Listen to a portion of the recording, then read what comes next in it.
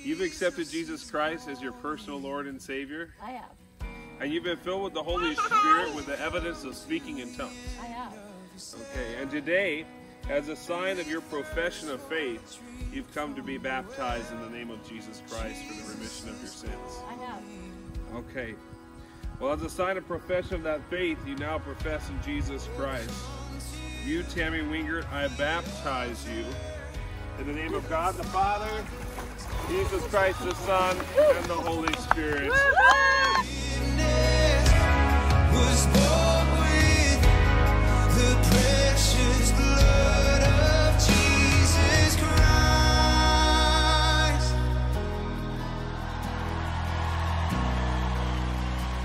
Thank you.